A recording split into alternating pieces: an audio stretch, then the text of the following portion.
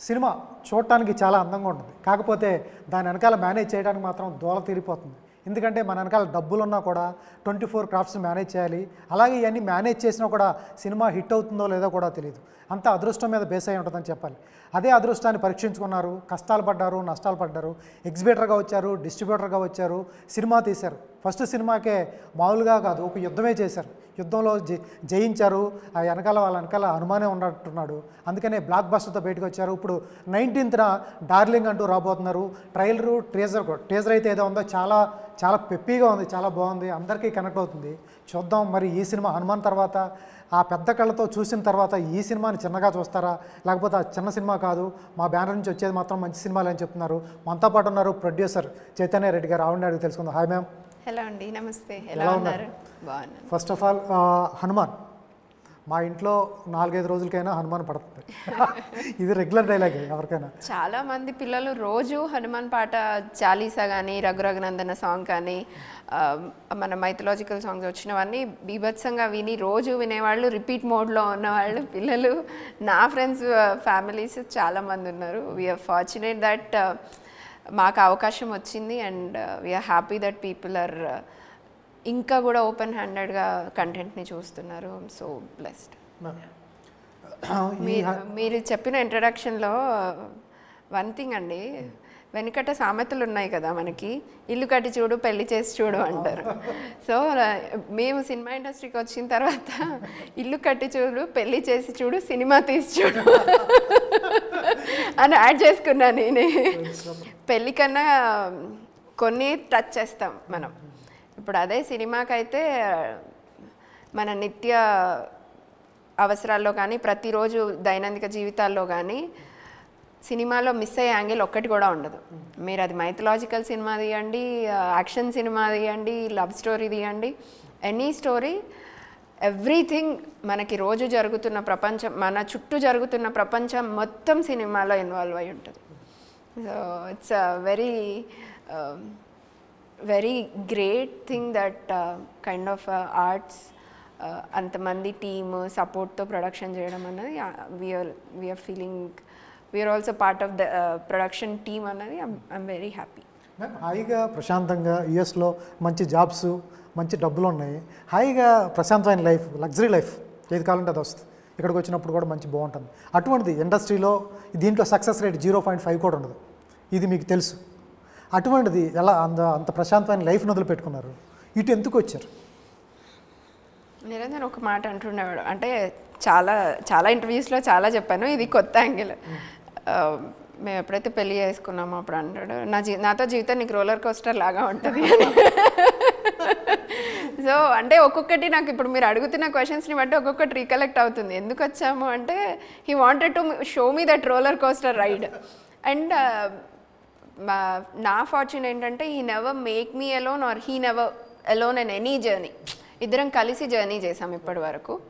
Industry అన్నది first it's very big fight between us నాకు నిరంజన్కి మధ్య కూడా ఇండస్ట్రీ ఇనీషియల్గా uh, రావడం uh, అందరూ పైసలు పోగొట్టుకున్నారు. చాలామంది తెలిసిన వాళ్ళు ఉన్నారు. బయట నుంచి విన్నాము. ఇన్ని విని కూడా ఇప్పుడు మేము ఏదైనా మా సొంతంగా నేర్చుకొని చేసినవే అండి. సో యుఎస్కి వెళ్ళడం దగ్గర నుంచి జాబ్ చేయడం అక్కడ కంపెనీ స్టార్ట్ చేయడం everything it's are own struggle. మా ఎవరిని ఎవరు మాకు వచ్చి ఇది ఇలా చేస్తే బాగుంటుంది అని కనీసం గైడ్ చేసిన వాళ్ళు కూడా లేరు. Fortunate that we got success in everything whatever we did because మేము కంప్లీట్గా ఇన్వాల్వ్ అయ్యి చేస్తాం. ఇప్పుడు కంపెనీ స్టార్ట్ చేసిన లైఫ్ సైకిల్ మొత్తం కంపెనీలో అకౌంటెంట్ జాబ్ రిసెప్షన్ జాబ్ దగ్గర నుంచి సీఈఓ జాబ్ వరకు ఎవ్రీథింగ్ మేము పర్సనల్గా టేక్ కేర్ చేసినాం. అందుకని సక్సెస్ చూసినాం. సేమ్ ఇప్పుడు ప్రొడక్షన్లో కూడా సో రా రావడానికి చాలా తర్జన భర్జనలు అయినాయి. చాలా పెద్ద ఫైట్స్ అయినాయి. డిస్ట్రిబ్యూషన్ స్టార్ట్ చేసినప్పుడు కూడా చాలా సినిమాలకి చాలా గొడవలు పెట్టుకున్నా. వద్దు ఇది చేయొద్దు చాలా లాస్ కనిపిస్తుంది అనేసి. బట్ తన ప్యాషన్ ఏంటంటే అండి ఒకటి he he never wanted to settle for less. నాకు చేయగలుగుతాను అన్న నమ్మకం ఉంది టైం ఉంది. అండ్ దేవుడు నాకు అంతో కొంత ఫైనాన్షియల్ స్టెబిలిటీ కూడా ఇచ్చిండు. సో మేము బిలియన్ ఇయర్స్ మిలియన్ ఇయర్స్ అని చెప్పడం కాదు కానీ చ- చాలా చల్లగా చూస్తున్నారు దేవుడు ప్రశాంతమైన లైఫే ఉంది. కాకపోతే ఏమన్నాడంటే మన ప్యాషన్స్ని మనం తె- నే- నే- ఇప్పుడు మన ముందు జనరేషన్ ఎలా ఉండే? ప్యాషన్ వాళ్ళ వాళ్ళ ప్యాషన్ వాళ్ళు నిలబడాలి అంటే పేరెంట్స్ సపోర్టు ఇది so men so many things ఉన్నాయి మనకి. మనం వచ్చిన గ్రో అప్ బ్యాక్గ్రౌండ్ బట్టి. సో మనకి అట్లీస్ట్ అవసరం లేకుండా పోయింది. మనం ఏది కావాలనుకుంటే మనం అది చేసుకోగలుగుతున్నాం కదా. సో నేను ట్రై చేస్తా. ఇప్పుడు ఎట్లాగో ఒక టూ త్రీ ఇయర్స్ కోవిడ్ వల్ల అంతా డల్ ఉంది. సో ఈ డల్ పీరియడ్లోనే నేను ఏదో ఒక ట్రై చేస్తాను. సక్సెస్ అయితే విల్ కంటిన్యూ లేకపోతే అట్లీస్ట్ మనకి లైఫ్ అయితే ఉంది కదా. ఇంత software thing one more thing ఒక five seven eight years ten years చేసిన తర్వాత it's very regular no excitements and people who are capable of doing more wanted to do have that energy have that vision they can sit idle so అనిపించింది so పోగొడితేనేమో వచ్చి కష్టపడి మళ్ళీ సంపాదిస్తాను. పేరు వస్తేనేమో అక్కడే ఉండి అట్లీస్ట్ ఇదొక ప్యాషన్ మనకి మన మన పనులతో పాటుగా ఇది ఇంకొక ఎక్స్ట్రా మన డివిజన్లో ఇంకొక ఎక్స్ట్రా ఫీల్డ్ యాడ్ అయినట్టు ఉంటుంది సో చేద్దాము అని అన్నారు. సరే ఒక టూ త్రీ ఇయర్సే త్రీ ఇయర్స్ కంటే ఎక్కువ అయితే నేను ఇవ్వను అని చెప్పాను. సో త్రీ ఇయర్స్లోనే రోలర్ కోస్టర్ రైడ్ కాదండి డిస్నీ రైడ్సే చూశాను. మ్యాడ్ మ్యాక్స్ రైడ్ రైడ్స్ అన్నీ చూశాను. అన్నీ చూపించారు నాకు. హనుమాన్ రిలీజ్ కూడా చాలా స్ట్రగుల్ అది అప్పుడు ఆయనకి మాల వేయించడం నేను వెరీ స్ట్రాటజిక్గా చే చేసిన పని. మేము ఆల్మోస్ట్ ఒక పదేళ్ళ నుంచి స్వా నాకు చాలా భక్తి. స్వామి మాల వేయించాలనేసి ఎప్పటి నుంచో అనుకుంటున్నాం. ఆయన కూడా పాపం వేసుకుందామని ఎప్పటి నుంచో స్వామి చేద్దాము అనేసి అనుకుంటున్నారు. కానీ ఆ మాల వేసుకునే టైంలో మేము ఇండియాలో ఉండడం జరగ చాలా తక్కువ టైము అది చేయలేకపోయినాం. And he was so pissed off so stressed. So ఈ టైంలో ఇది కరెక్ట్ అనిపించి స్వామి మాల వే- వే వేసుకుందాము ఇప్పుడు అనేసి ఇంకా ఫార్టీ వన్ డేస్ ఎట్లాగో రిలీజ్కి కూడా ఉంటుంది మనకి అనేసి ఆ ఫార్టీ వన్ డేస్ ఇద్దరం ఇంత కష్టపడుతున్నాం. ఇప్పుడు అంత దేవుడి చేతిలో పెట్టేసినాం. కనీసం మనం చేసేది ఏదో ఒకటి మనకి హెల్ప్ అవుతుంది అని అయ్యప్ప స్వామి దీక్ష తీసుకున్నాం. నాకు అది నిజంగా అది కూడా దీక్ష తీసుకోవాలి ఇప్పుడు తీసుకోవాలి ఇంత స్ట్రెస్లో తీసుకోవాలి అని మేము తీసుకున్న ఆలోచన కూడా క- మాకు హండ్రెడ్ పర్సెంట్ న్యాయం చేసింది. లేకపోయి ఉంటే ఆ స్ట్రెస్లో ఆ స్ట్రగుల్లో ఆయన ఇంకొకలాగా ఇంకేమైనా ఆలోచించుండొచ్చు. నేను ఎంతో ప్రెషర్ చేసి ఉండొచ్చు. ఇప్పుడు ఎందుకు ఇంత రిస్క్ తీసుకోవడం ఎందుకు అని. So many things cut down అయిపోయాయి. చాలా మ్, మాకు ఇంట్లో ఏ డిస్టర్బెన్స్ లేకుండా స్వామి వల్ల లేదంటే దీనికి మేమిద్దరం కూడా పెద్ద యుద్ధాలు చేసి ఉండేవాళ్ళం. బికాజ్ నాకు తెలిసి నేను ఎప్పుడూ ముందుకు రా ముందుకు వచ్చి మాట్లాడింది లేదు. ఇండస్ట్రీలో బ్యాక్గ్రౌండ్ ఇప్పుడు ప్రొడక్షన్ టీంకి అందరికీ నేను ఉన్నానని తెలుసు చేస్తున్నాం కానీ నా ఒపీనియన్ వినిపించింది ఎప్పుడూ లేదు. ఓన్లీ అది నేను నిరంజన్ మాట్లాడుకుంటాం మ్యాక్సిమం పోతే డైరెక్టర్ దాకా పోతుంది అంతే సో అలాంటప్పుడు ఇప్పుడు ఇంత ఇంత యుద్ధంలో నేను కూడా ఒక స్టెప్ వేసి నువ్వు ఇది చేయి ఇది చేయొద్దు అది చేయొద్దు ఇది చేయొద్దు అనేసి too many cooks spoil the broth అలా ఉండకూడదు అనేసి స్ట్రాటజికల్గా పాపం మాకు దేవుడు చాలా హెల్ప్ చేసిండు. అన్ని రకాలుగా కుదిరాయి. యుద్ధం కంటే కూడా మాకు బాగా ఎక్స్పీరియన్స్ వచ్చింది. ఎందుకంటే మీతో పాటు వచ్చిన వాళ్ళంతా పెద్ద పెద్ద ప్రొడక్షన్ హౌసెస్ కదా. నిజంగా ఇట్లాంటి అవకాశం ఎవరికి రాదు. ఫస్ట్ సినిమాకి ఫస్ట్ సినిమాకి మాకు రావడం అది మేము నేర్చుకోగలగడం దాని నుంచి ఆ ఫైట్ నుంచి మేము ప్రయత్నం చేయడం నిలబడడం అదంతా వి లర్న్ అలాట్ సో ఇండస్ట్రీలో రావటం అంటే ఇక్కడ పెద్దగా రెడ్ కార్పెట్ ఏమి వేయరు. ఇక్కడ మామూలుగా మీకు తెలియదు ఏమైనా కొత్త వాళ్ళు వచ్చారంటే ఇంచుమించు తినేయటానికి చూస్తారు. కొంచెం మ్యాథ్స్ తెలియదు వీళ్ళకి ఇండస్ట్రీ గురించి తెలియదు కాబట్టి. ఇది వాళ్ళకి తెలియదు కాబట్టి ఎక్కువ తినేసే బ్యాచ్ ఎక్కువ తగులుతుంటారు. మీకే తారస. ఇది లెసన్సే ఇటువంటి లెసన్సే తగులుతుంటారు మీ డిస్ట్రిబ్యూషన్లో కానీ ఎగ్జిబిషన్లో కానీ ఇటువంటి తారసపండియా తారస పెడితే ఈ సినిమాని ఎక్కువ బై ఎక్కువ చేసి కొంటాం. మీరు తొందరగా సినిమా మీద ఫ్యాషన్తో పలానా పవన్ కళ్యాణ్ గారి సినిమా కొందామని ఎక్కువ వెళ్తారు. ఆ సినిమాకు ఎక్కువ చేసి కొంటాం. అటువంటి సందర్భాలు జరిగినాయి మీకన్నా మేము అంటే మా డిస్ట్రిబ్యూషన్ గురించి అడుగుతున్నారు కదా డిస్ట్రిబ్యూషన్లో ఫస్ట్ థింగ్ ఈ రోజుకి నా ఇన్వాల్వ్మెంట్ టెన్ పర్సెంటే అండి. I'm not involving too much. So నాకు నిజంగా ఫుల్ లాజిస్టిక్స్ తెలీదు. ప్రైస్ మాత్రం డిస్కషన్ డెసిషన్స్ అయ్యేటప్పుడు అదొకటి నాకు చెప్తారు.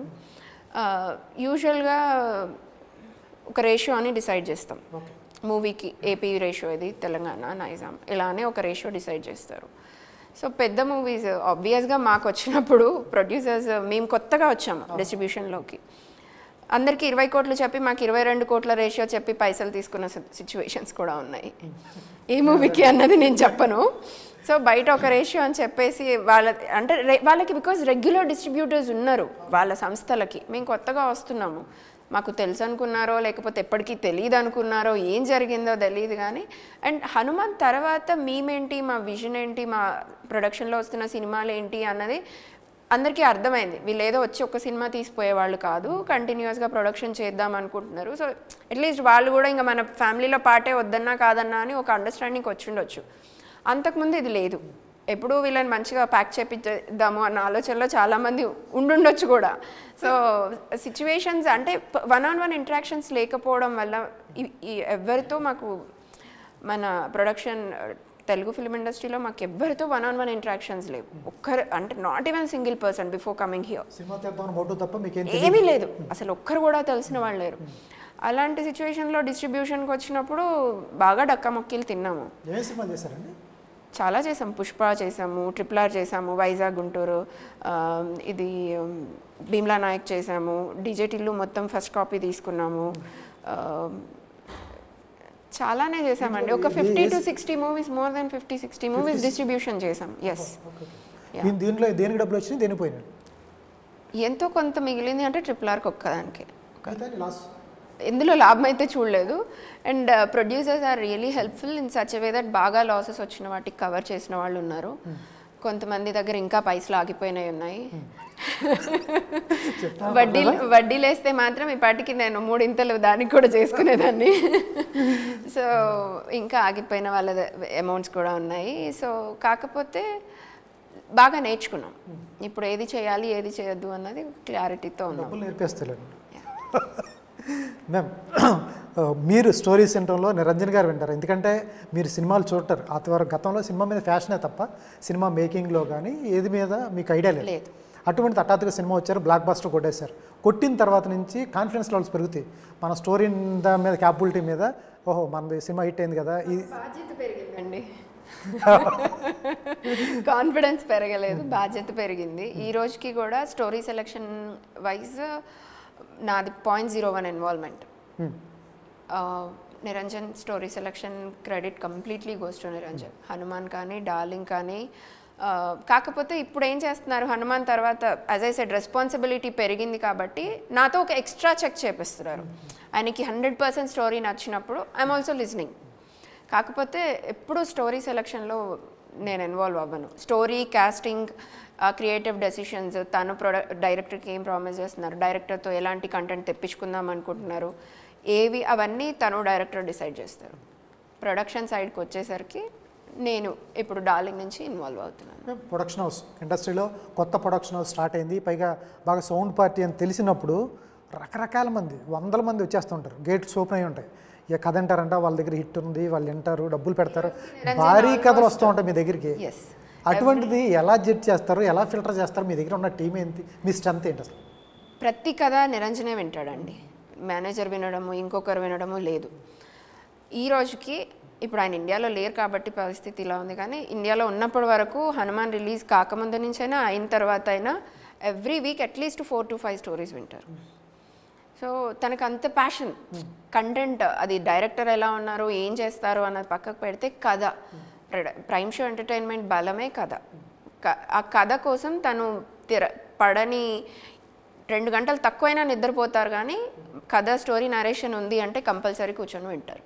అంత ప్యాషనెట్గా వింటున్నారు కాబట్టి ఇంతమంది వస్తున్నారు ఇన్ని యాంగిల్స్లో కథలు చెప్తున్నారు కాబట్టి తనకు ఆ decision making he's doing it very right way. So కథ సెలక్షన్లో పక్కాగా జడ్జ్మెంట్ నిరంజన్ గారి జడ్జిమెంట్ కరెక్ట్ అని మీకు మీకు ఒక ఐడియా ఉంటుందా? నిరంజన్ గారు అయితే ఈ జానర్ ఆఫ్ ఎందుకంటే రకరకాల ఏ పని చేస్తే కరెక్ట్గా చేస్తారో బాగా తెలిసింది. ఎట్లా? మీకు ఆయన మీద అంత ఎక్కడ నమ్మకం కుదిరిని చెప్పండి. ఎందుకంటే వేరే వేరే అట్లా పర్ఫెక్ట్గా ఉంటారు. సినిమా అనేది మీకు తెలియని జానర్ అవును. వచ్చి ఇట్టు కొట్టేశారు. కొట్టిన తర్వాత నుంచి నెక్స్ట్ నుంచి ఉంటుంది అసలు సినిమా. మీ దగ్గర నుంచి ఏ ప్రొడక్షన్ మీ ప్రొడక్షన్ హౌస్ నుంచి ఏ సినిమా వచ్చినా వేరే కళతో చూస్తారు. వీళ్ళు మంచి మంచి సినిమా చేస్తారు. వీళ్ళ జడ్జిమెంట్ బాగుంటుంది. అందువల్ల ఆయనలో మీకు నచ్చిన బెస్ట్ క్వాలిటీ అండి సినిమా సెలెక్ట్ చేసేటప్పుడు.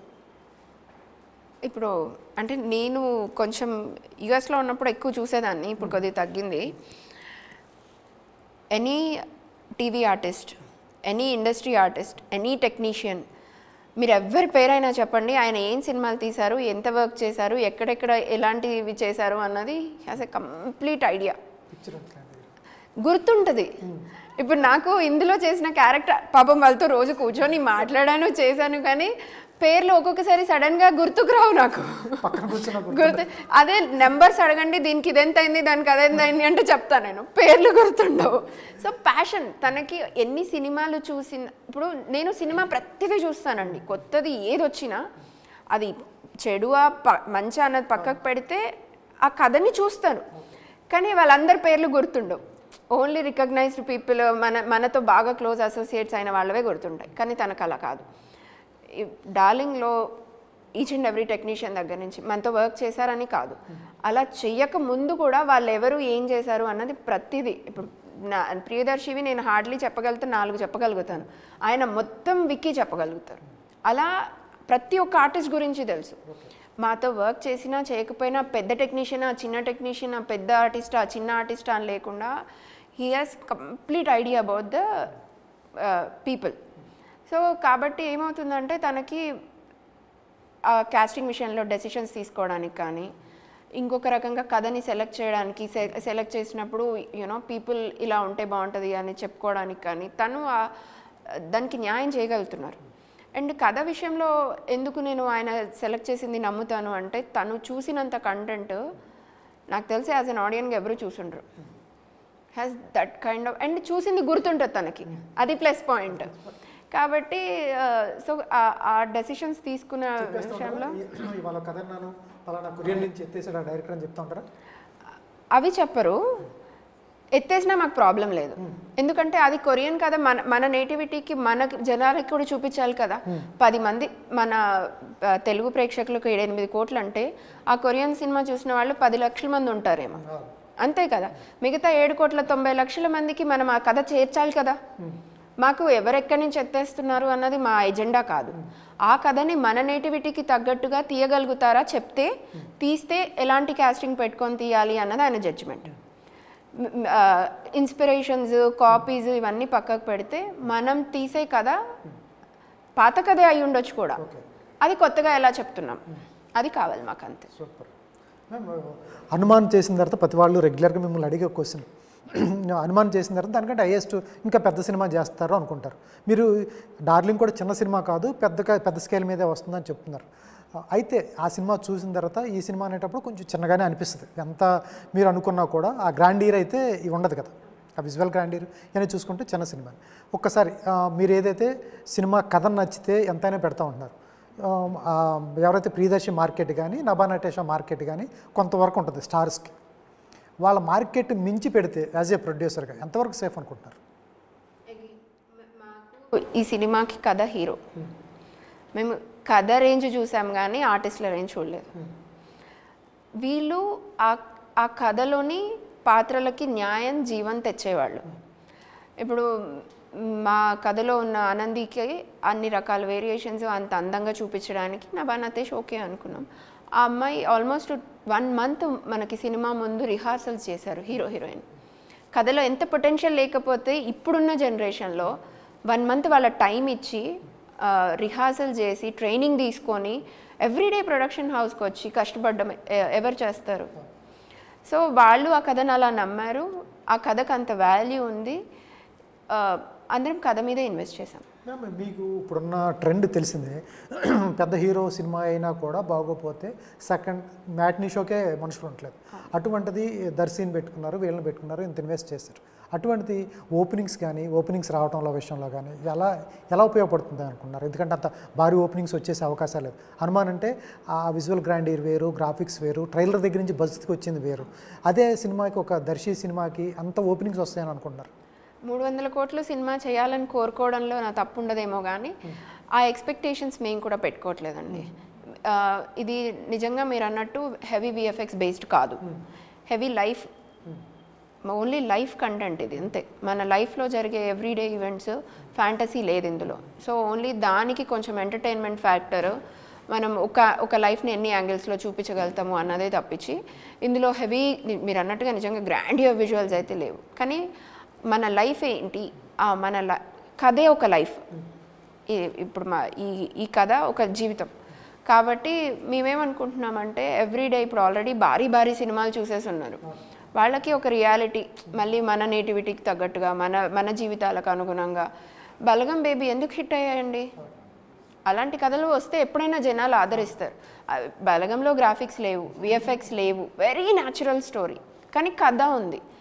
అంతే. ఇక్కడ కూడా అంతే. మాకు మేము but still there are so many beautiful locations. We we shot and much much nice places. కథ దానికి డిమాండ్ చేసినట్టుగా కథ ఎలా ఉంటే బాగుంటుంది అన్నట్టుగా అన్ని రకాల తీసుకొని జాగ్రత్తలు తీసుకొని ప్రొడక్షన్ చేశాం. ప్రశాంత్ వర్మ గారిది గతంలో ఏదైతే ఉందో హనుమాన్ ముందు ఇంత భారీగా చేయలేదు ఆయన సినిమా. ఆయన ఆయన నమ్మి అంత బడ్జెట్ ఎలా పెట్టగలిగారు? మీరు కథ అంత కథ బాగా నచ్చినా కూడా ఒక మ- కనీసం ఒక డైరెక్టర్ నమ్మాలి తేజాన్ని తేజాన్ని నమ్మటానికి కానీ ఒక మార్కెట్ ఉంటుంది కదా. ఎంత ఎంత ప్రొడ్యూసర్ అయినా మన దగ్గర ఎంత డబ్బులు ఉన్నా కూడా ఒక మార్కెట్ పరిధి కలెక్షన్ మీకు ఆపోజిట్ సంక్రాంతి సినిమాలో భారీగా మహేష్ బాబు గారు వాళ్ళందరూ ఉన్నాయి. మేము సినిమా తీస్తున్నప్పుడు ఇదంతా లేదు కదండి. అప్పుడు బేసిక్గా మేము నేర్చుకుంటున్నాము. ప్రశాంత్ కూడా ఇంత పెద్ద విఎఫ్ఎక్స్ గ్రాండియర్ మూవీస్ అంతకుముందు చేసి లేరు. జాంబీ రెడ్డి చేసినప్పుడు కూడా ఇంత రేంజ్లో విఎఫ్ఎక్స్ వాడి వాడిన స్కేల్ ఉన్న సినిమా కాదు. కాబట్టి అందరం కలిసి నేర్చుకున్నామండి. నేర్చుకోవడానికి మా వంతుగా మేము ఏం చేయాలి? ఆపకుండా ఎంతవరకు సపోర్ట్ చేయాలో అది చేసాం అంతే. ఇంకా అది రిస్క్ రిస్క్ అవుతుంది అని అనుకోలేదు. ఒక్కొక్క స్టెప్ పెరుగుతూ పెరుగుతూ పోయింది. ఒక సర్టన్ ఎక్స్టెంట్ పోయిన తర్వాత వెనక్కి రాలేము. దానికి కావాల్సింది కంపల్సరీ ఇచ్చి తీరాల్సిందే. సో అది చేస్తూ వచ్చినాము. అండ్ దాంతోపాటు ఒక నమ్మకం ఒకసారి ఇదే same. First May twelfth release అనుకున్నాం ట్వంటీ ట్వంటీ టూ సమ్వేర్ అప్పుడు. అనుకున్నప్పుడు ఇట్లా పెరుగుతూనే పోతుంది నెక్స్ట్ పోస్ట్పోన్ చేస్తూనే పోతున్నారు పోస్ట్పోన్ చేస్తూనే పోతున్నారు అన్నప్పుడు we had a fight as I said నేను నాకు నేను ఫైనాన్షియల్ స్టెబిలిటీ కోరుకునే అమ్మాయిని. మిడిల్ మిడిల్ క్లాస్ నుంచి వచ్చిన కామన్ పర్సన్స్ మనము. ఇంత రిస్క్ చేయడం అవసరమా అనేసి సీరియస్ డిస్కషన్ అయినప్పుడు ఒక మాట అన్నాను నిరంజన్ నేను హనుమంతుని నమ్మి పెడుతున్నాను ఇక్కడ. నీకు నమ్మకం ఉంటే ఇప్పుడుతో ఇక్కడ ఆపేసేయి. సినిమా చేసే వరకు నన్ను ఏం అన- అనొద్దు. సినిమా కనుక నువ్వు అనుకున్నట్టుగా రాలేదు మనకు పైసలు రాలేదు అంటే ఇంకా నువ్వు ఎప్పుడు ఏది చెప్తే అది చేస్తా నే నేను నమ్ముతున్నాను హనుమంతుని నువ్వు నమ్ముతావా నమ్మవా అని అన్నాడు. ఆయన బేసిక్గా నా వీక్నెస్ మీద కొట్టారు. నన్ను ఆ సినిమా రిలీజ్ అయ్యే వరకు నోరెత్తకుండా చేశారు. బికాస్ నాకు దేవుడు అనేది నా లైఫ్లో ఒక భాగం అండి. ఆ నమ్మకం. సో అంత నమ్మకం ఉన్నదాన్ని నేను ఆయన మాట అనేసరికి ఆయనకి ఎదురు చెప్పలేకపోయా అండ్ ఆయన కూడా ఇప్పుడు నా ఒక్కదాని నమ్మకం కాదు నేను ఆయన్ని కూడా దేవుడు అంటే నమ్మించగలిగాను.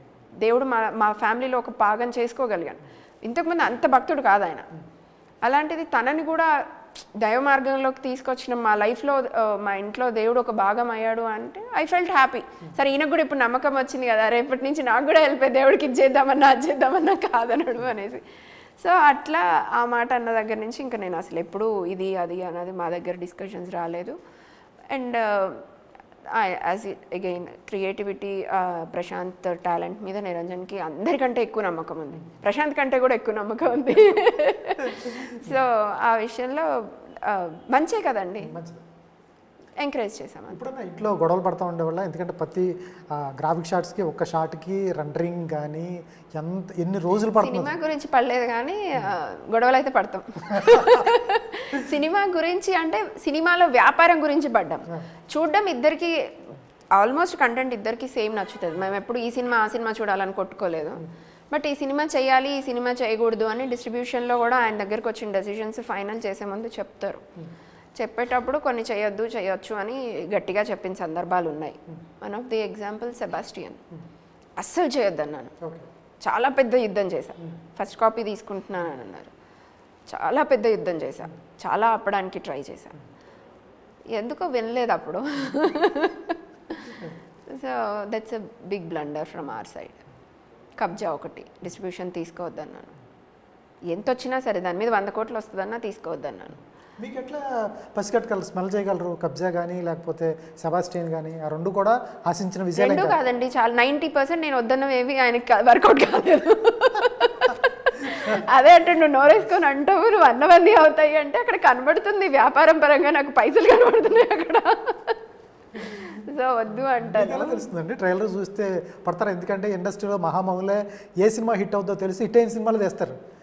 ఆ స్మెల్ అలా చే- అంత వ్యాపార పరంగా కూడా నేను ఏం ఆలోచించనండి. అది నిజంగా అందులో. ఇది ఉంది ఇది ఉంది సిక్స్త్ సెన్స్ ఏదో చెప్తుందండి.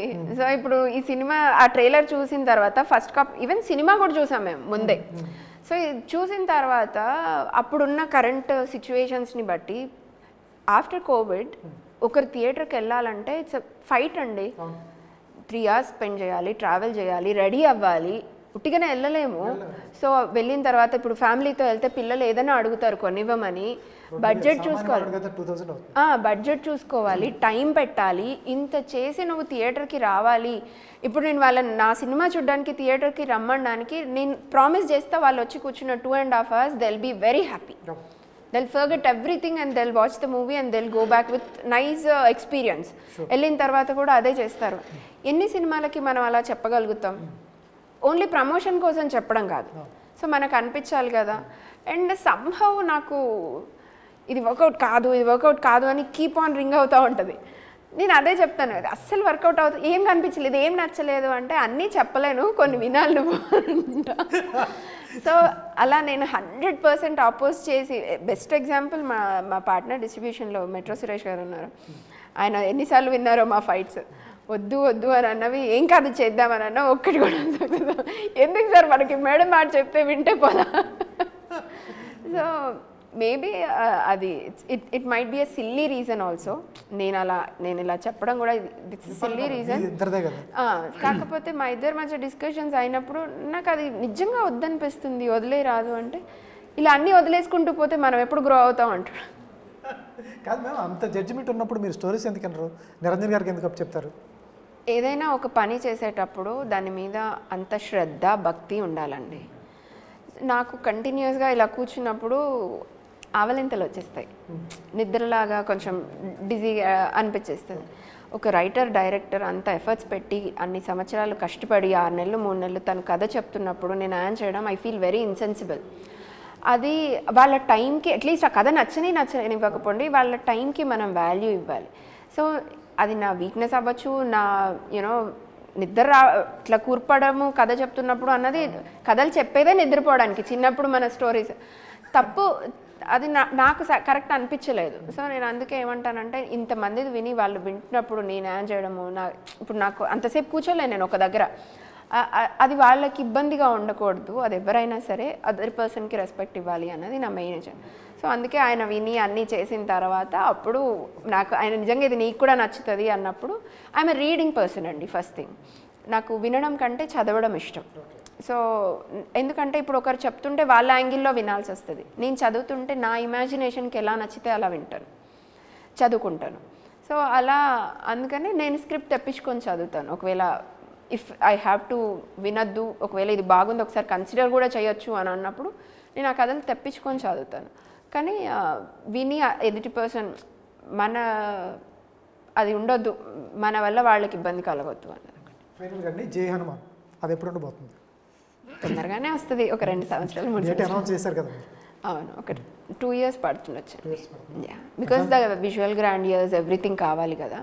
సో కొంచెం టైం మరి ఈలో ప్రశాంత్ గారు బిజీ అయినట్టున్నాడు ప్రశాంత్ గారు ఉంటారా? వేరే వాళ్ళు చేస్తారా యూనివర్స్ మొత్తం ప్రశాంత్ గారు చేస్తారా. ఓకే సరే ఫైనల్గా డార్లింగ్ చూడాలి అంటే ఆడియన్స్కి ఏం చెప్తారు? ఎందుకంటే రకరకాల వెబ్ సిరీస్లు వచ్చేస్తున్నాయి రకరకాల ఓటీటీ ప్లాట్ఫామ్స్ ఓపెన్ అయ్యి ఉన్నాయి. ఓపెన్ అయిన తర్వాత ఒక ఫ్యామిలీ మొత్తం కానీ వాళ్ళ మొత్తం ఒకసారి చూడాలి అంటే చాలా చిన్న ఎగ్జైట్మెంటో ఏదో కొత్త యూనిక్ పాయింట్ ఉంటే తప్ప ఆడియన్స్ వచ్చి థియేటర్కి వచ్చి చూసే పరిస్థితి లేని లేంటే ఈ టైంలో డార్లింగ్ చూడాలంటే ఏం చెప్తారు? డార్లింగ్ చూడాలి అంటే ఫస్ట్ ఆఫ్ ఆల్ ఎక్కడెక్కడో మన డ్రామాస్ కోసం సస్పెన్స్ కోసం కొరియన్ డ్రామాస్ అని కొరియన్ సస్పెన్స్ అని ఇప్పుడున్న జనరేషన్కి వాటి మీద ఇంట్రెస్ట్ ఎక్కువ అయిపోయింది సో ఆ ఎగ్జైట్మెంట్కి తగ్గకుండా మన నేటివిటీకి తగ్గట్టుగా కథలు కథలో అన్ని యాంగిల్స్ ఉన్నాయి. ఫ్యామిలీ ఎంటర్టైన్మెంట్ ఎమోషన్స్ ఉన్నాయి. డ్రామా ఉంది యాక్ట్ కామెడీ ఉంది. సో ఫుల్ ఫ్లెచ్డ్గా ఒక ఫ్యామిలీ ఎలా అయితే ఉండాలనుకుంటారో ఉండలేకపోవడానికి కారణాలు ఏంటో కూడా చూపించాం. సో అది కూడా ఫనీ వేలో చూపించు. Super ma'am. All the best అండి. ఇది చైతన్య రెడ్డి గారితో స్పెషల్ చిట్ చాట్. ఎందుకంటే అలా బ్యానర్ నుంచి వస్తున్న సినిమాలే దానికి నిదర్శనం. ఎందుకంటే హనుమాన్ తీశారు అదే క్వాలిటీలో అదే విధంగా ఉంటుంది. ఎందుకంటే వాళ్ళు కథనే నమ్మారు. కథే హీరో అన్నారు. ఎంతమంది ఉన్నా కథే హీరో అన్నారు. కథే హీరో అన్నప్పుడు ఆ సినిమాకి వర్త్. టికెట్ డబ్బులు పెట్టడంలో ఏమాత్రం సందేహం లేదు. ఆల్ ద బెస్ట్ అండి. నైన్టీన్త్ రిలీజ్ కాబోతుంది. All the best. Thank you thank you అండి